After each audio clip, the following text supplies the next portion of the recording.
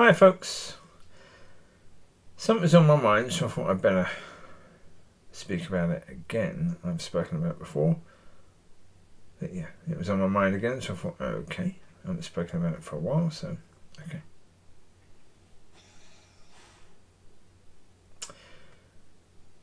Praying for people is not about them. Nobody needs you to pray for them. That's the reality. Nobody needs you to pray for them. A lot of people think that for somebody to receive healing, yeah, like there was that. Uh, there's that song. I can't remember what the song is called. Lovely song. Um, it's on that album. Let's see if I can find it. Uh, what's it called? What's it called? What's it called? What's it called? What's it called? It's a brilliant song. Raise a Hallelujah. There you go. Raise a Hallelujah. A song where basically this child was in a serious condition in hospital. And they were praying for this child, and all these people were praying intercessory prayer for this child, right? Believing that that was needed to save this child. No. It wasn't. That song, Raise a Hallelujah,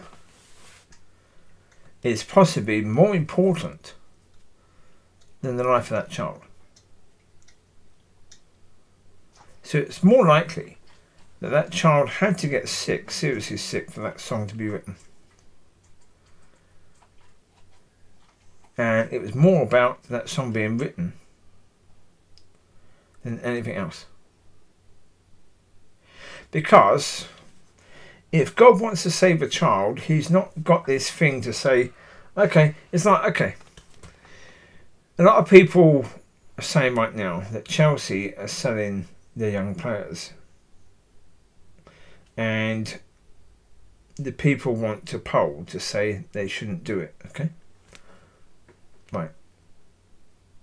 So therefore, okay, God is saying to people, if 100,000 people pray for this kid, I will save him.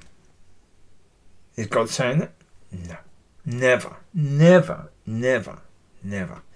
That is not what a loving father would ever say. Right? What about 50,000? 50,000 people have to pray hard and continuously for a week and then this child will live. Is that what God is saying? No. No. When you pray for people, it's about you going to God, and it's about you learning to be led to pray. If God wants to save that child, God has already got that on the agenda. There you go. That child is going to be saved at that specific time. He didn't need you to do that. God doesn't need you to do what God is going to do. And if God is not going to do it, it doesn't matter how many people ask. You're never going to change his mind.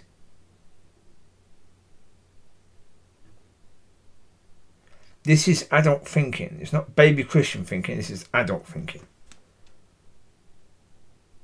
When you tell young Christians to pray for people, it's not because those people need you to pray for them. It's because praying for those people is teaching you to go to God.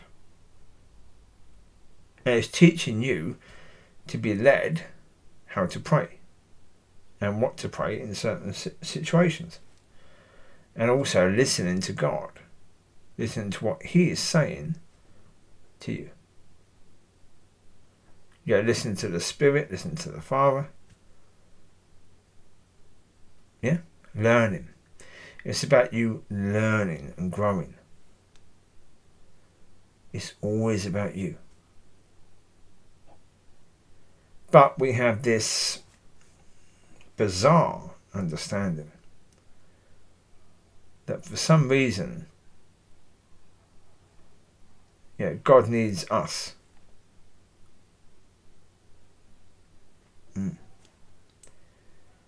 As I say, you know, that a certain amount of people have to pray for God to act.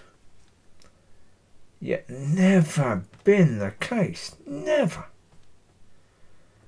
It's like that point that if you pray and you fast and you'll get. Well, there is a principle. If you pray and you fast, you'll get. There is a spiritual principle to that, but that's not God given.